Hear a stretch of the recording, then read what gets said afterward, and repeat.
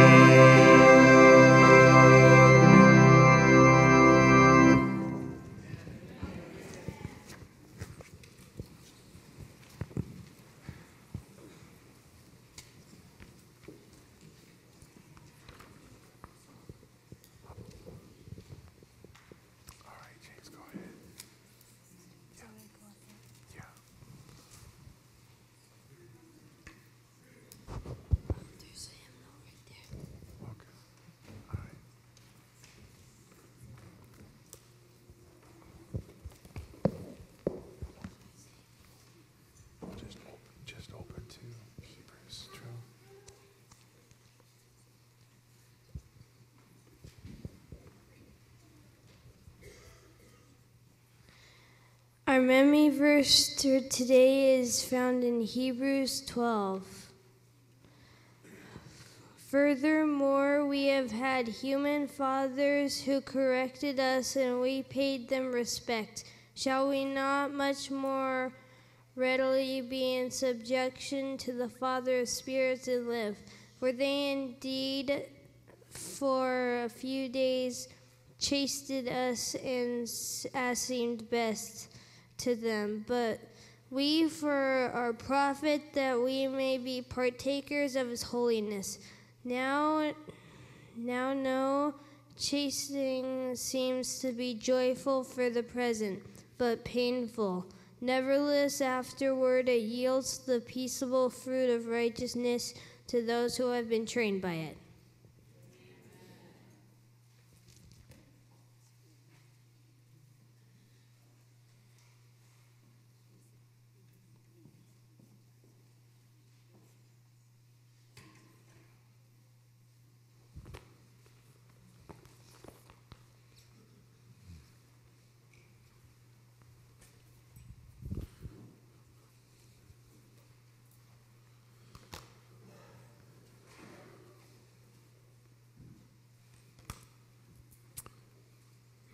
We are very blessed today. Very blessed. Let's ask the Lord to give us understanding as we open His Word. Dear Heavenly Father, we thank you. Thank you, Lord, for all the many blessings you've poured out into our hearts, to our families, to this world, the gift of your own Son. Father, win our hearts to loyalty to you by your faithfulness and loyalty to us, by your love for us. Speak to our hearts today. Um, lift them up toward you, I pray, and give us understanding in your word. In Jesus' name, amen.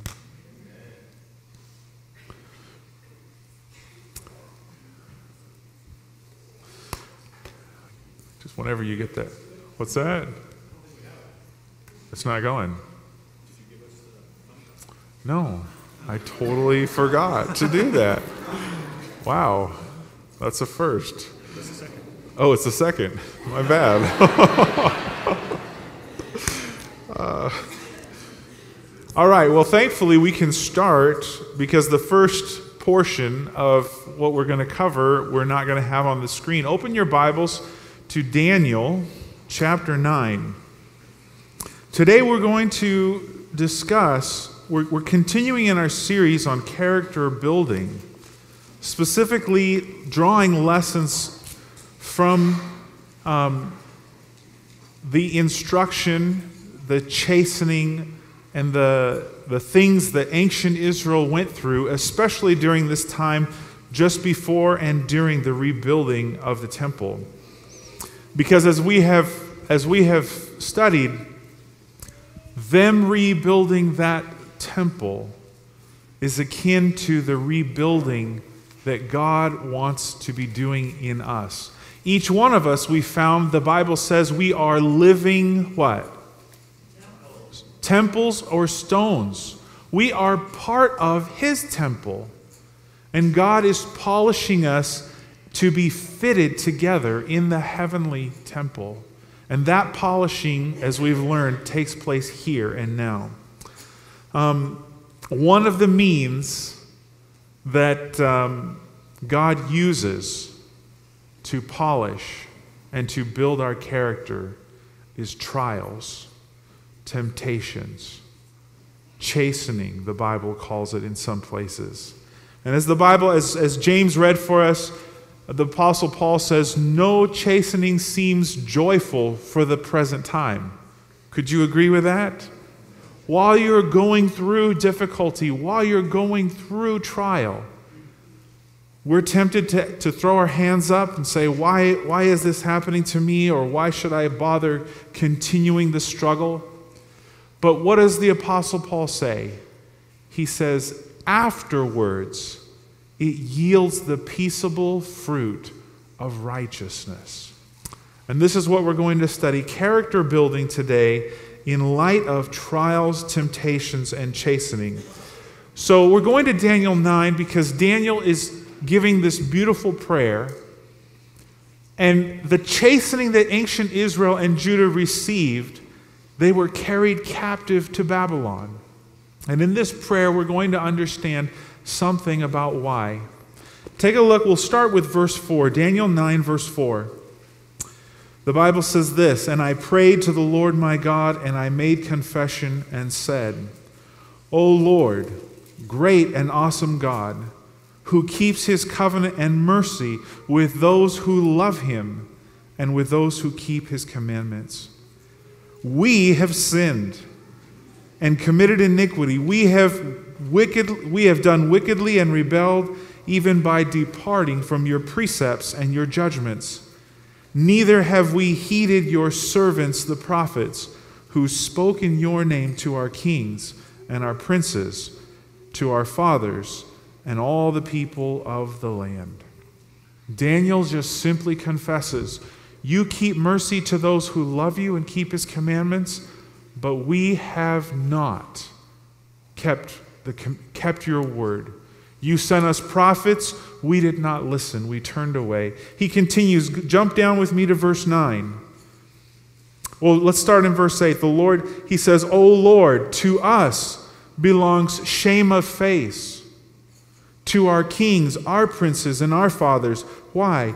Because we have sinned against you. This is what Daniel is, is saying. We're, we have been shamed, we have been brought low, and it's our own fault. That's what he's saying. Verse 10 But to the Lord our God belongs mercy and forgiveness, though we have rebelled against him. We have not obeyed the voice of the Lord our God to walk in his laws, which he set before us by his servants the prophets. Yes, even all Israel has transgressed your law and departed so as not to obey your voice. Therefore, the curse and the oath written in the law of Moses, the servant of God, has been poured out on us because we have sinned against him. Jump down with me to verse 16. Then Daniel prays this. He says, O Lord, according to all of your righteousness, I pray, let your anger and your fury be turned away from your city, Jerusalem, from your holy mountain, because of our sins and for the iniquities of our fathers. Jerusalem and your people are a reproach to all those around us. Now, therefore, O God, hear the prayer of your servant and his supplications, and for the Lord's sake, Cause your face to shine on your sanctuary, which is desolate. O my God, incline your ear and hear, open your eyes and see our desolations, and the city which is called by your name. For we do not present our supplications before you because of our righteous deeds, but because of your great mercies. You know, How many of us are in the same boat with Judah? Are we always constantly faithful to the Lord? No. We stumble, we fall, sometimes rebelliously, sometimes by mistake. But we have no right to ask God for His mercy. God, in His mercy and goodness, pours it out on us anyhow. But when we do ask, we should ask the same way that Daniel does here in humility. And he even says, It's not because of our righteous deeds that we're asking you this, but because of your great mercy. Isn't that what Hebrews says when he says, We should come boldly before the throne of what? Grace.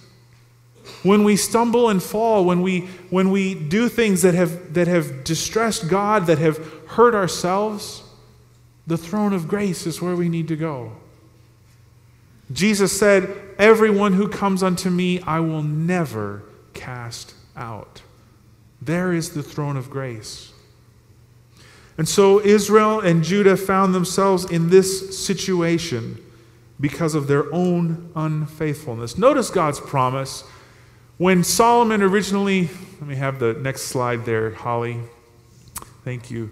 When Solomon originally dedicated the temple, he asked the Lord, he said, when we do evil, when we do wrong, when we go astray, hear from heaven prayer that's made in this place and forgive.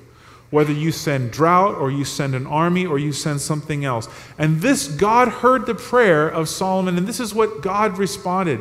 He said, If my people who are called by my name will humble themselves and pray and seek my face and turn from their wicked ways, then I will hear from heaven and I will forgive their sin and heal their land. Daniel was doing just this on behalf of the nation. I'm sure there were other Jews that were realizing the 70 years of captivity were coming to an end. I'm sure there were others that were lifting their prayers as well. But Daniel, even in this prayer, says, We have not made our prayer and confession before you. These are the conditions to receiving mercy. God says, If my people will humble themselves, if they will pray, if they will seek my face and turn from their wicked ways, then he will hear from heaven and forgive. Let's go to the book of Hebrews. The, um, this, this is also an interesting, interesting scripture here. Jeremiah 2, verse 19 tells us this Your own wickedness will correct you, and your backslidings will rebuke you. You know what? God allows the things that come upon us to happen, but they are not all from Him as if it was His first choice for us. Do you understand that? Take a look at this scripture. This scripture, Jeremiah is telling us that our own sins will correct us, our own backslidings away from God. They rebuke us. He goes on, Know therefore, God says, and see that it is an evil and bitter thing that you have forsaken the Lord your God, and the fear of me is not in you, says the Lord God of hosts. Not everything that comes to us comes directly from God as if he's vindictive. The things that happen to us, many times we bring on ourselves. And we need to be wise. The Lord can open up our eyes and, and make us to understand that it's our own wicked way, our own evil, that has brought us to the circumstances that we come into. Many people do not want to come face to face with that because that means they have to take a certain amount of responsibility. And this is not a culture or a people right now that wants to take responsibility. You understand that, right? It wasn't my fault. It was my parents. It wasn't my fault. It was the woman that you gave me. We have been placing blame since the very beginning. Satan, even in heaven, said, It's not my fault. Your law is too strict, it's too harsh. It cannot be kept. But the Bible here tells us that our own wickedness will correct us. You know, if we're not willing to listen to the chastisement and rebuke and correction of God done in love, then He will let us go, and our own sin and wickedness will correct us. I'd rather be chastised and exhorted by my Heavenly Father. You know, this is what I believe Paul meant when he said, let such a one go to Satan. Remember, there was, there was someone in the church of Corinth who was doing things against the law of God, and he told them, let them go and be chastised by, by the ruler that he's chosen, essentially. Let Satan bring about the, the natural outflowing of his own choices. This is very, you know, when the prodigal son went into a far country thinking, my father's a harsh taskmaster, I don't want to serve him. His own choices rebuked and corrected him, did they not? He wasted all his wealth. He found that he had nothing. All the friends that were friends while he had money disappeared. And he finally, the Bible says, he finally came to himself. The light turned on, and he said, You know what? It was much better for me to be as even a servant and serving my father in his house than it is for me right now. Our own wickedness and evil will correct us. That does not mean that that's God's first choice for you. And that does not mean that God is bringing that upon you and say, ah, take some of that, you deserve it. Our own choice brings us to these things. Our own backsliding and evil bring us to these kinds of situations. There's another reason why we may fall into persecution or trials. Jesus tells us, Matthew 5, verses 10 through 12, he says this Blessed are those who are persecuted for what reason? For righteousness' sake. For theirs is the kingdom of heaven. And blessed are you when they revile and persecute you and say all kinds of evil against you falsely for my name's sake. Rejoice and be exceedingly glad, for great is your reward in heaven. For so they persecuted the prophets who were before you. The reason I bring these two scriptures to light is to, I don't know, this is something that made sense to me. Trials and temptations come, difficulties come. Sometimes, in the worst case, they are a result of our own choice. My own sin brings me to ruin. It pains me, it hurts me, it causes those who love me to suffer. On the one hand, those things, your own evil will chasten you. On the other hand, sometimes we suffer trial for righteousness' sake. And we have done nothing wrong. Jesus, was Jesus persecuted? Was he hunted? Was, he, was his life, was his life um, in danger all the time? Yes. Was it for any evil that he had done? No. So there, there is persecution in this world. Sometimes we bring it on ourselves by our own choice. Sometimes it's brought on because Satan hates Christ. And if he can hurt and discourage and damage those who are seeking to follow him, he feels like he's won a victory. And sometimes this is the, this is the trap that we've been studying Job in the quarterly. This is the trap that sometimes we fall into. There is trials, there are temptations, there are difficulties and challenges for every one of us who live on this planet. And our biggest question we want to know is why? Why? And didn't Job's friends come to him and say, Job, you know why? I'm going to tell you why, right here.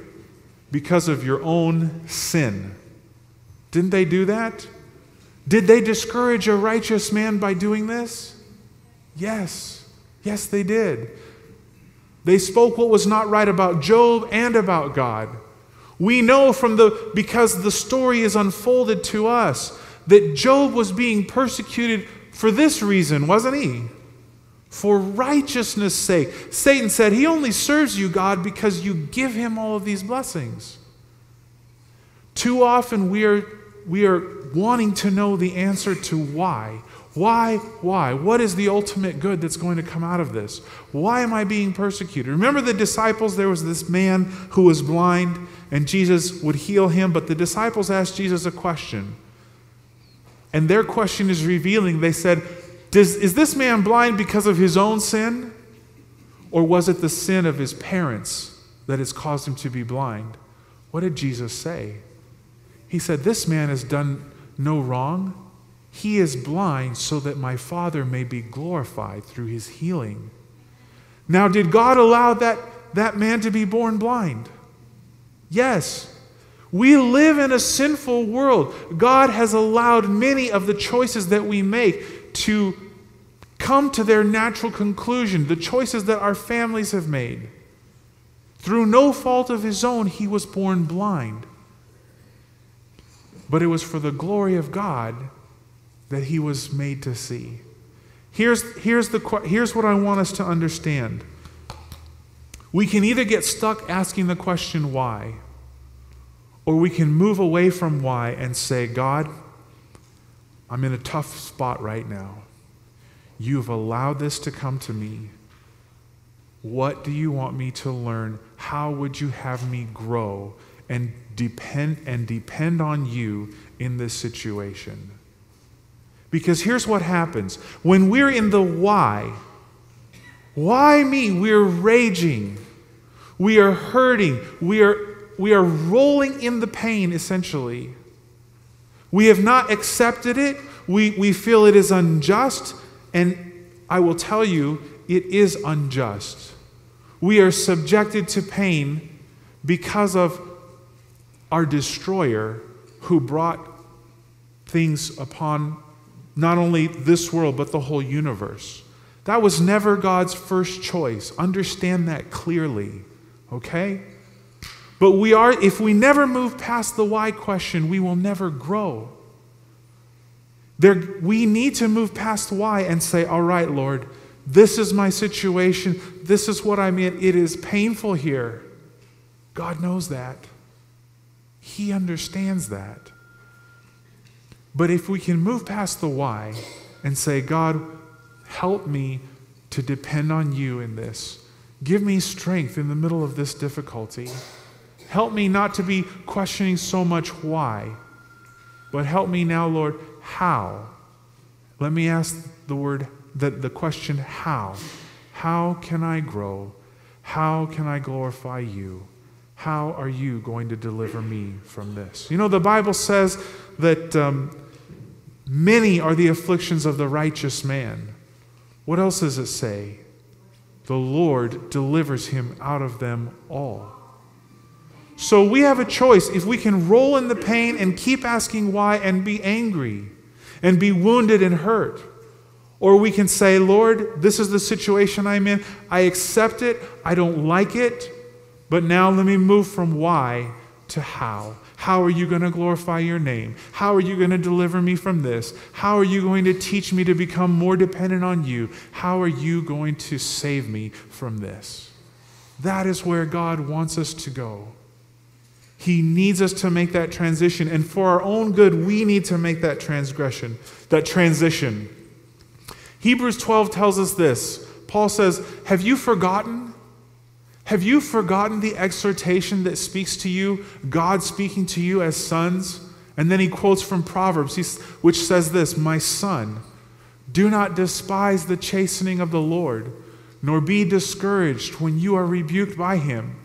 For whom the Lord loves, he chastens and scourges every son whom he receives.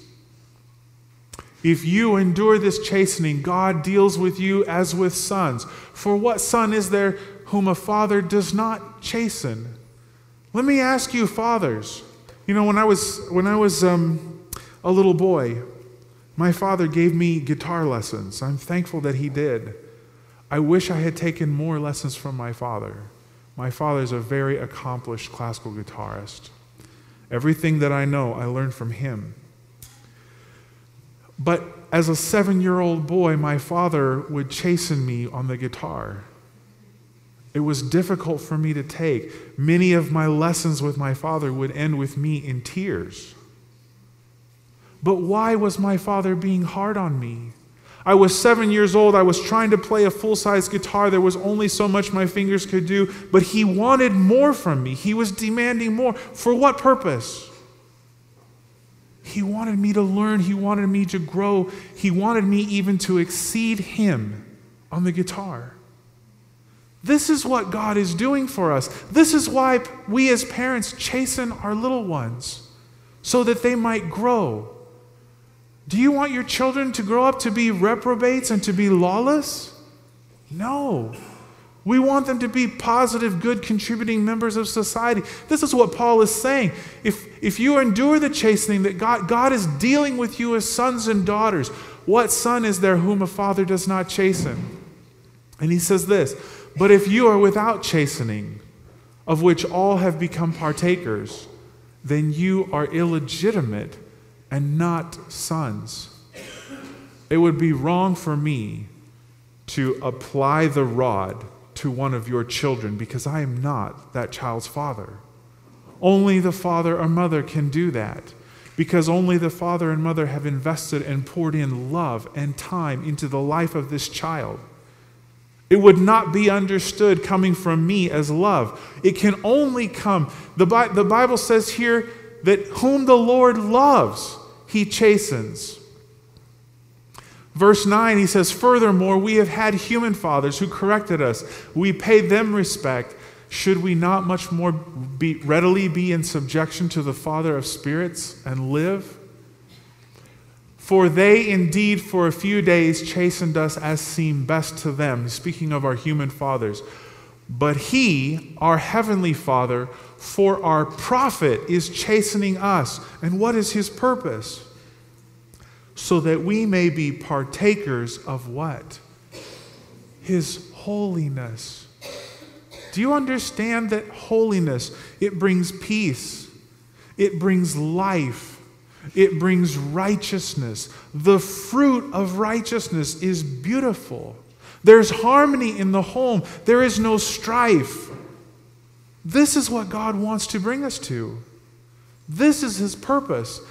And then he says this No chastening seems to be joyful at the present, but painful. Nevertheless, afterward, it yields the peaceable fruit of righteousness. And this is a very important phrase. I don't want you to miss it. It will only yield the peaceable fruit of righteousness to those who are trained by it. In order to be trained by the chastening, we have to move from why to how. Because if we stay in why, then we're being chastened, we're being hurt, and we're saying, This is unfair, God. Why are you doing this to me? We, we begin to blame. But if we move and we say, All right, Lord, you are allowing this, it may not be your first choice for me, but you're allowing it. I will be subjected to you in this, and I'm going to see how are you going to glorify your name? How are you going to cause me to depend more upon you? How are you going to deliver me from this trouble? I'm waiting. I'm expectant. This is where the Bible, and this is where growth happens. While we were chafing, you know, there was um, there was a, a girl in the Pathfinder Club that I was connected with involved with. And uh, it was a Sabbath afternoon, and we were going for a hike. And it was, a, it was a fairly long hike. It was about a mile and a half or two miles. And this girl knew it was a long hike, and she did not want to go. She whined, she complained, she moaned, but she knew that she was going to have to go. We started up the trail, and there she was. I don't want to go. I don't have, you know, she's going, but she's just totally not having any fun. So I came alongside her and I, I, I, t- I said, You know what? You know, you're walking with us. You know you have to come. You have a choice. You can either accept it and begin to be happy and have a good time with the rest of the people who are here, or you can continue to be upset and whine and wish you were somewhere else. In that case, you will be miserable the whole way up, the whole way back, and you're going to make everyone around you miserable with you. What do you want to choose?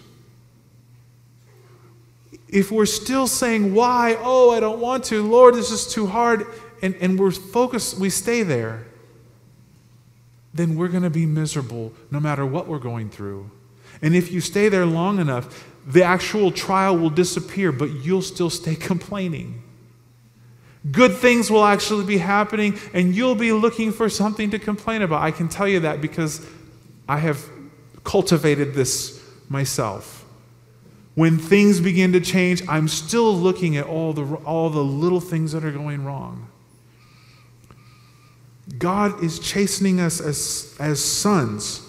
He loves us, and it's to bring about a positive, beautiful change in our life. Notice what God says here in Psalms 32. He promises this I will instruct you, I will teach you in the way you should go, and I will guide you with my eye upon you. Just as a father is following his son while he's taking his first few pedals on the bicycle and knows he could fall down. The Father is right behind us. He is guiding us with His eye upon us. He is leading us and instructing us in the way that we should go.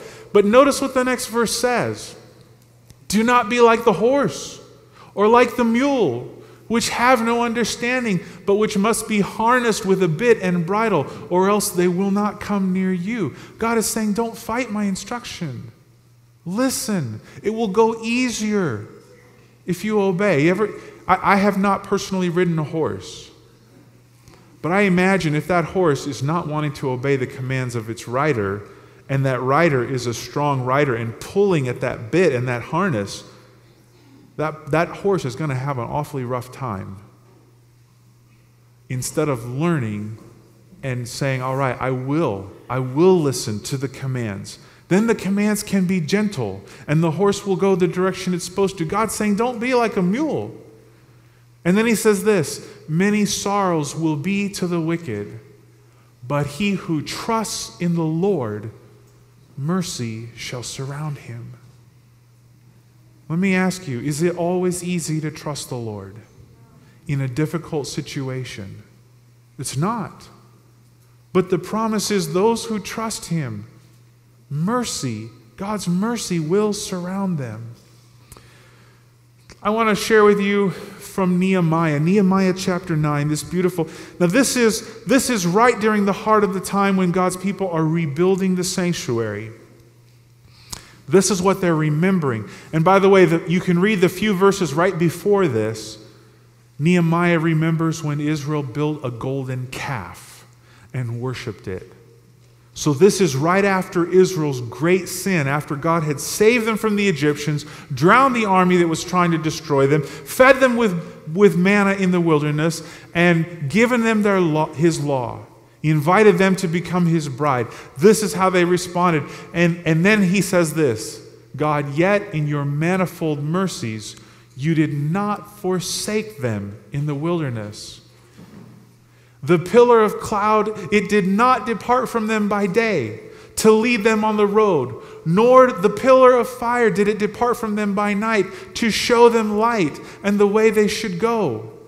You also gave your good spirit to instruct them, and you did not withhold your manna from their mouths, and you gave them water for their thirst. Forty years you sustained them in the wilderness, and they lacked nothing.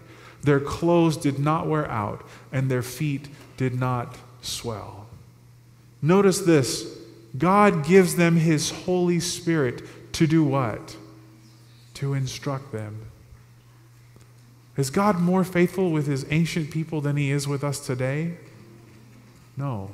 He's the same yesterday, today, and forever.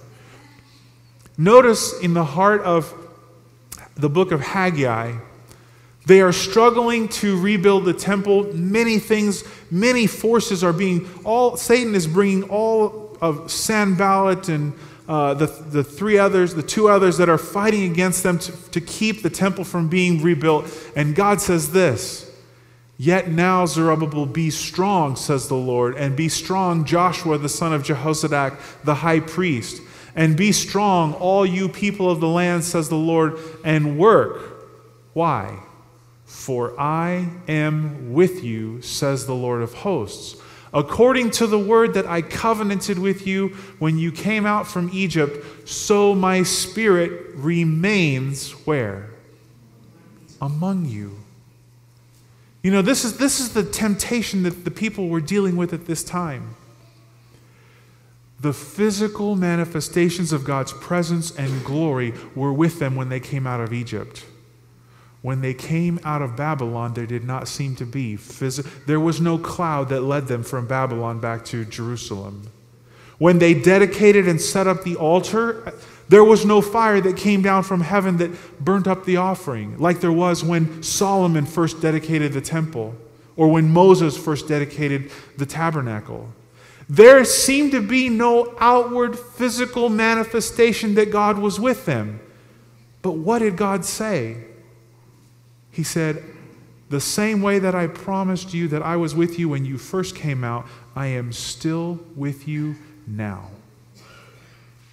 Do you know that we need that same we need that same rebuke and exhortation? How many of you have heard and maybe some of us have been that, that very one. We've asked questions, well, there was healings in Jesus' day. There were miracles in, in the day that God brought the Christian church out. Where are those miracles today? The same God who said, I will be with you and lead you in the way you should go, is the same God who is with us today. In fact, you know what God tells them in Haggai? You know, when they finished building the temple, it looked so lame. To the old men who had seen Solomon's beautiful, grandiose temple, they said they began to cry when they, when they set the final stone in place. They were weeping. And you know what God told them? He said, Don't weep.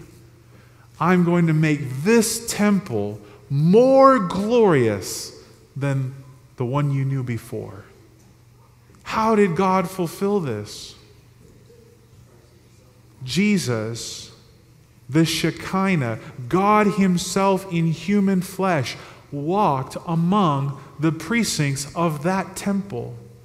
They had spent years. Rome had sent marble. Herod had spent 46 years trying to rebuild this, this dilapidated post um, Babylonian temple to bring it back to the grandeur of Solomon's day. And even by the time of Christ, it was a pretty beautiful temple. But it was nothing in comparison with Jesus himself, the Shekinah, God himself walking amongst that place.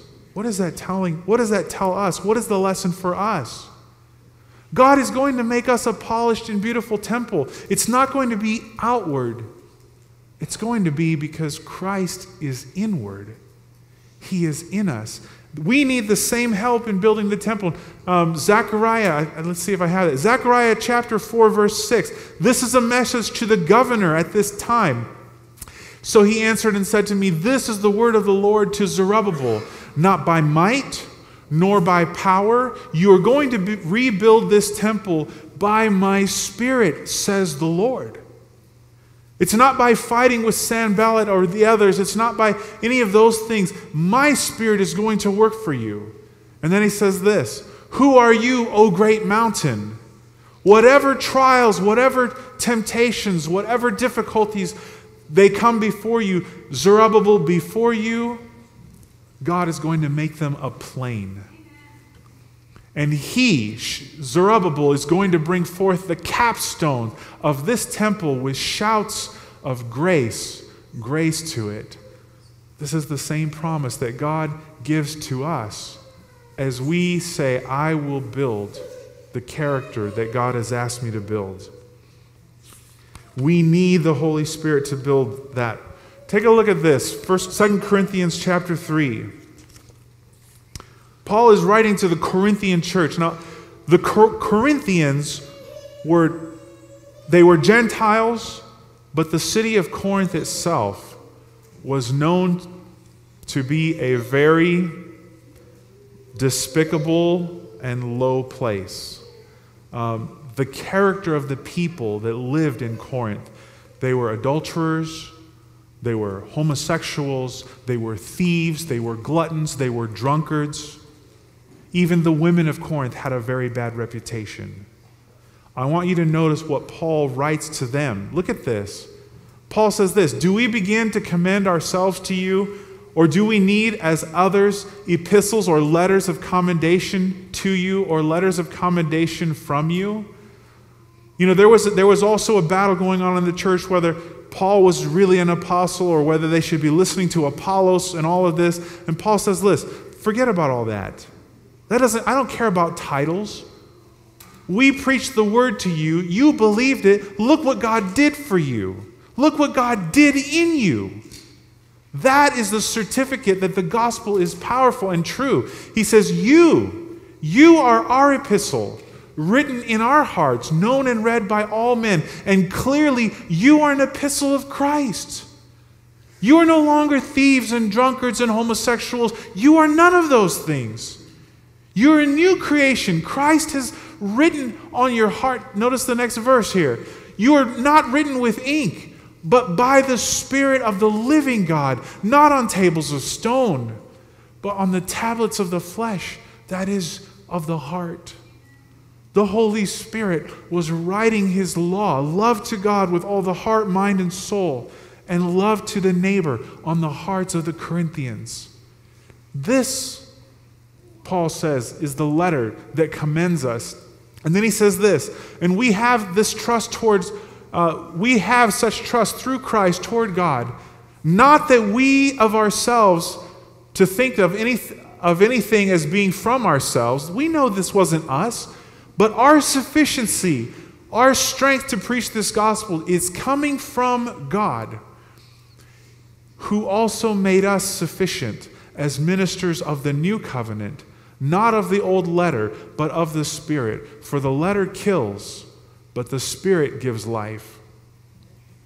But if the ministry of death, written and engraved on stones, was glorious, so that the children of Israel could not look steadily at the face of Moses because of the glory of his countenance, which glory was passing away, how will the ministry of the Spirit, writing that same law on your heart, how will his ministry be, um, sorry, not be more glorious?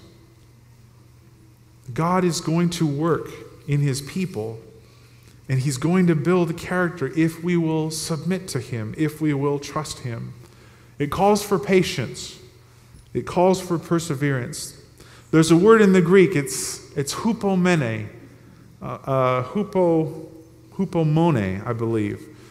Um, and this is what it means it means a steadfastness, a constancy, an endurance not, not to be swerved from a deliberate purpose or swerved from loyalty to faith and piety, even in the greatest trials and suffering. It's patient, it's steadfast, a, patient and steadfast waiting for, a patient enduring, a sustaining, a perseverance. That's what this word means. And let me share with you scriptures where it is found. They relate to character building. Notice what James says My brethren, count it all joy when you fall into various trials, knowing that the testing of your faith produces, and there's the word, hupomone. The testing of our faith by trials and tribulations produces patience. It produces steadfast loyalty in the face of difficulty. If we're not willing to be trained by it, it will not produce the fruit of righteousness. But if we are, it will produce, our faith will produce patience. And then notice what he says in the next verse. But let patience have its perfect work, so that you may be perfect and complete, lacking nothing. Is God able to do that for us? It's through trials and temptations. Take a look at another scripture here from Romans 5. I'm going to skip the beginning part of this. Not only this, not only do we have justification by faith through Jesus, but we also glory in what? In tribulations, knowing that tribulations produce what? There is the word, hupomone. It produces, tribulation produces this patience, this loyalty even under difficulty. And that patience produces what? character. And character produces hope. And hope does not disappoint because the love of God has been poured out in our hearts by the Holy Spirit who was given to us. And if we have the Holy Spirit, heaven is mine, Jesus is mine, eternal life is mine, and peace and joy can be mine right now, right here. I don't have to wait for it. Here's another scripture from Revelation 14 in connection with the end times. We know this. After all that Satan is doing in Revelation 13 and 14, the beast and the dragon and all of this, here is what? The patience of the saints. Same word, hupomone. Here is the endurance, the steadfast loyalty in the face of difficulty. Here are those who keep the commandments of God and the faith of Jesus. Do we need patience? Do we need endurance? We do. This is melted silver, molten silver. It has to be heated to 1,763 degrees before it melts. When it does melt, the dross, the impurities, the other irons uh, or whatever is there, you can see it gathered all around the, all around the edges. Can't you? This reddish? Those are impurities. They are being burned off, they are being skimmed off. And what remains is the pure, beautiful metal. Now, if a smith heats this too, too long or too hot, he will lose some of that precious metal. And so he has to know exactly the right temperature. Too hot, he'll destroy. He'll destroy a portion of it. If he doesn't get it hot enough, the junk and the crud and the dross will re- the slag will remain. Do you know that God knows this? He knows just how hot and how difficult the trials in our life have to be to be able to produce this in our lives and get rid of this. Let me share a scripture with you. Look at this. 1 Corinthians 10:13. The Bible's telling us exactly this. No temptation has overtaken you. No trial has come to you except that which is common to man. You're not the only one going through this. But God is what? Faithful, and he will not allow you to be tempted what? Beyond what you are able. But with the temptation will also make the way of escape so that what? You may be able to bear it. God has strength and power to give to everyone who calls on him in that time of need. And there is the promise of it. Here's another scripture, Job 23. You remember Job's experience being persecuted for righteousness' sake, even by his friends. This is what Job says God, He knows the way that I have taken, He knows my heart. And when He has tested me, I shall come forth as what? As gold. Zechariah 13 says the same thing. God says, I will bring, by the way, you don't want to be part of the two thirds. If you want to know what happens to the two thirds, read the few verses before this in Zechariah 13. This is what God says about the one third I will bring that one third through the fire. I will refine them as silver is refined. I will test them as gold is tested. Then uh, they will call on my name, and I will answer them. I will say, These are my people, and each one will say, The Lord is my God. And one last one from Malachi 3.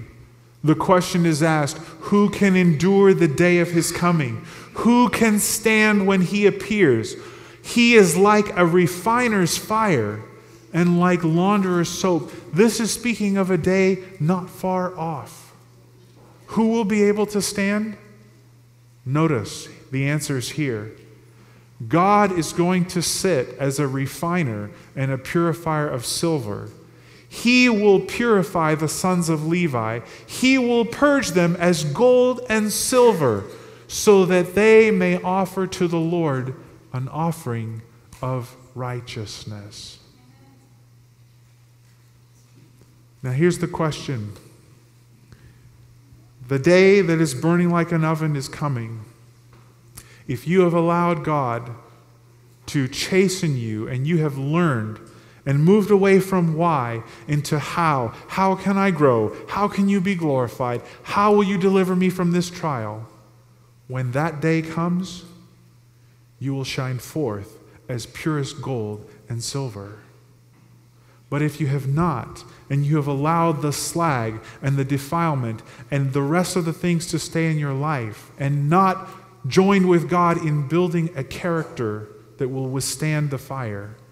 When that day comes, the slag, the dross, the impurity, it will be burned up.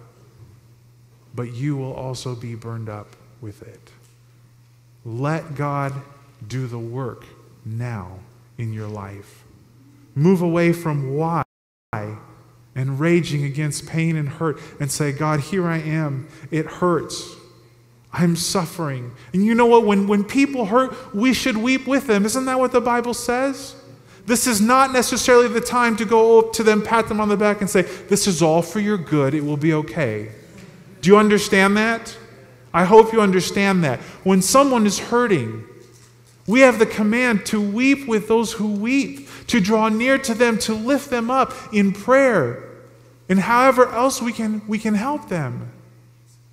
But when you yourself are in the fire, don't forget God has a plan for you. He is bringing to bring you forth as gold and silver refined. Jesus went through the same thing. I want to look at look at the agony that Jesus has. This is this is still the cross is still somewhat far away, but look at what Jesus says. This is in Luke 12. Jesus says this, I came to send fire on the earth, but how I wish it were already kindled. Jesus is saying, I wish I was beyond the cross. I wish the cross was not still in front of me. But what else does he say? But I have a baptism to be baptized with, and how distressed I am until it is accomplished. What else does Jesus say? There in the garden, he took two of his best, three of his best friends, Peter and the two sons of Zebedee. He began to be deeply sorrowful and distressed, and he said, My soul is exceedingly sorrowful, even to the point of death. Stay here and watch with me. And he went a little farther and he fell on his face and he prayed, saying, Oh, my Father, if it is possible, let this cup pass from me. Nevertheless, not as I will but as you will. Do you see how Jesus, as a son, is subjecting himself even to the tribulation and the trial that God is Father? He, God is the one who holds the cup to Jesus' lips because he loves him and because he loved us. Then he came to the disciples and he found them asleep, and he said to Peter, What? Could you not watch with me one hour? Even Jesus needed sympathy in this hour. We need to remember that. We need to give sympathy to each other. And Hebrews tells us this in the days of his flesh, when he'd offered up prayers and supplications with vehement cries and tears to him who was able to save him from death, he was heard because of his God, godly fear. But though he was a son, yet he learned obedience through the things which he suffered. You cannot learn obedience while asking why. You can only learn obedience stepping into how. And God will take us to that place. And having been perfected, he became the author of eternal salvation unto all who obey him. And you know what Jesus is going to say in the kingdom? The Bible tells us in, in Isaiah 53 speaking of this exact experience, the whole chapter of Isaiah, this is what it says that Jesus is going to look back on the travail and trial that his soul went through and be satisfied because by his knowledge and experience in that trial, Jesus, God's righteous servant, has justified many, for he has borne our iniquities.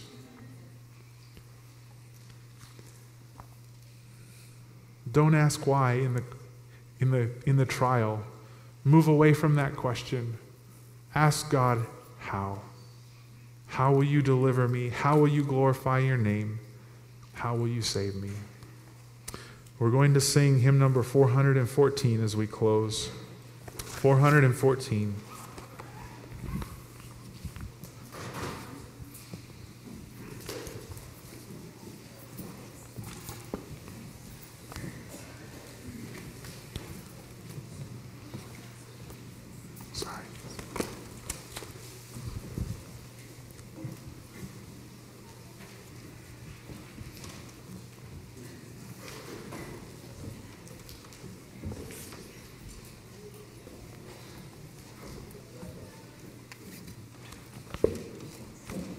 Let's rise and sing 414.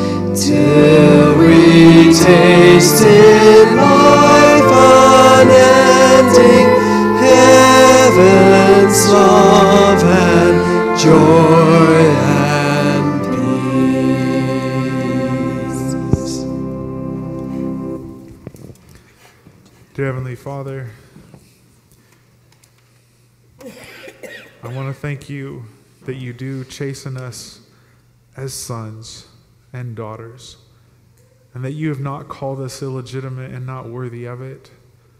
But Father, help us yield and subject ourselves to all that you allow and ask, Lord, how will you glorify your name? How will you deliver me from this? How will you build and grow my character even in this trial? Father, have your way. We do not want to be dross consumed in the fire. We want to be, we want to reflect your image. We want to be this pure silver and gold that you may be glorified. Father, I want to lift up those who are experiencing heavy trials and burdens right now. Send your Holy Spirit to them. Lift their eyes toward Jesus. He walked this very path before us. He has promised us that if we're faithful and we follow Him, we will have a great reward. Father, bless each one here and teach us to learn from the challenges and trials that come to us. In Jesus' name, amen.